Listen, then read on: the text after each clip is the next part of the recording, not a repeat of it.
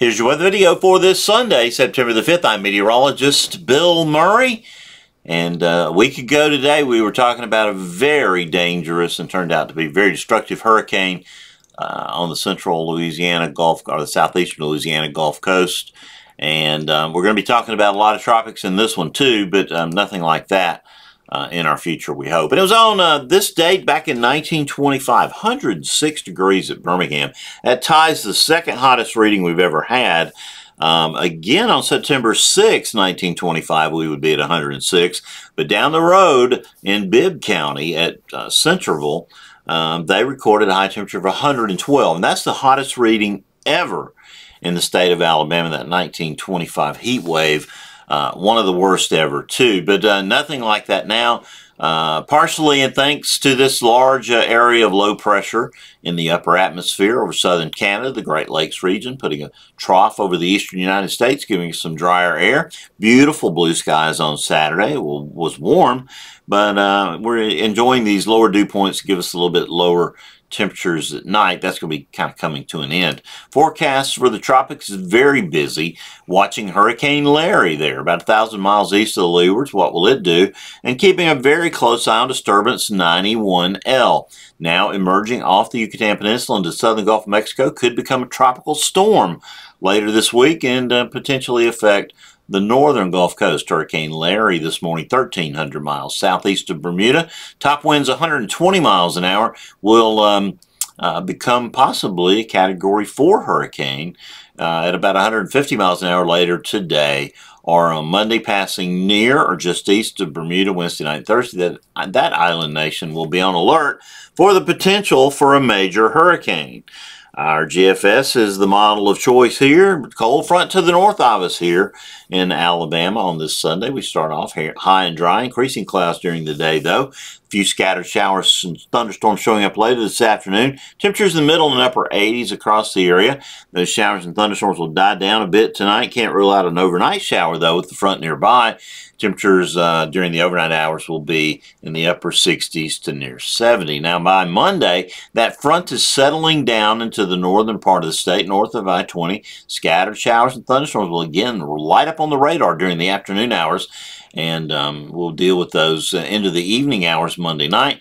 By Tuesday, that front is still there, enough of a boundary to produce another round of showers and thunderstorms with the heating of the day. But by Tuesday, we're going to be watching 91L. It's uh, apparently developing a closed circulation, according to the GFS, over the central Gulf of Mexico, uh, possibly becoming a tropical depression and uh, probably becoming a tropical storm. Um, or, potentially becoming a tropical storm uh, near the Louisiana coast late Wednesday. Mainly a rain event, though. This is not this does not look like a big wind event. But uh, heavy rain from southeastern Louisiana across the coast of Mississippi, Alabama, and into northwest Florida, something they do not need. Thursday, maybe even a little more developed. Uh, surprisingly, uh, trough pushing the front down into central Alabama. Most of the uh, moist air to our southeast. Rainfall chances will be southeast of I-59. Uh, this low is now centered somewhere between Pensacola and Fort Walton, Destin at, uh, at that time on Thursday. By Friday, though, um, that system is uh, moved across southern Georgia, is located near uh, Charleston, South Carolina, getting ready to move out. You see Alabama high and dry, setting stage for a beautiful weekend next weekend. Uh, lots of sunshine, fairly mild temperatures, and uh, comfortable overnight readings. But looky here. Uh, Friday the 10th shows uh, showing a big system, not a big system, but a disturbance with a big area of disturbed weather east of the Yucatan and uh, by Saturday, that system develops into a tropical storm and is affecting uh, northeastern Mexico there around Cozumel. That's not a good position for us. We know from historical hurricanes, when they get to about right here, they're a potential problem for Alabama uh, and for the central Gulf Coast. By Sunday, well-developed tropical storm, says the GFS. This is not a poured-in concrete forecast, but there have been enough signals lately that I would worry about this um, especially with the the MJO going into the to the phase it is. By Monday, the um, 13th, uh, we've got a little hurricane here. Uh, South Louisiana coast getting ready to make landfall. It probably moves inland uh, late Monday night, early Tuesday, um, the 14th. center south of Alexandria, Louisiana. Here, Alabama, still fairly high and dry. We get into a warm period here with a lot of subsidence from the developing system. And uh, as we get into Wednesday, the 15th, that system near El Dorado, Arkansas. Alabama, though, is uh, beginning to get the uh, the strong flow of Gulf moisture, lots of showers and thunderstorms around.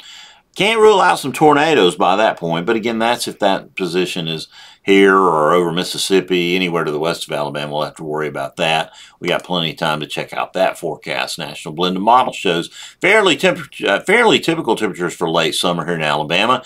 Uh, highs in the middle and upper 80s, overnight lows generally in the upper upper 60s and 70, but after the uh, Gulf system moves by Thursday, we'll uh, get some drier air in here again. That nice weekend with overnight lows Friday morning around 63, 64 Saturday, and 65 on Sunday. And we'll take that. This is uh, seven days of precipitation off the GFS here across north and central Alabama. Somewhere around a half to one inch. No real heavy amounts. Heavier amounts to the south, though. You can see that tropical system uh, dumping 6 to 10 inches of rain. Southeastern Mississippi southwestern Alabama, southeastern Alabama, northwestern Florida. Hopefully it misses the New Orleans area uh, and all those areas that have been so hard hit by Hurricane Ida this past week all the way up into the Northeast. Well, that's your weather video for this Sunday uh, September 5th. Couldn't get my camera to work today, so you didn't have to look at my ugly mug.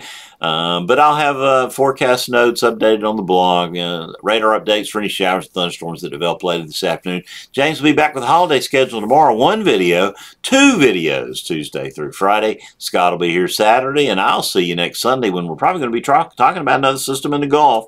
So um, that, that will be interesting. But as I always tell you till we get that chance again, please keep an eye to the sky because you'll always find something fun to look at.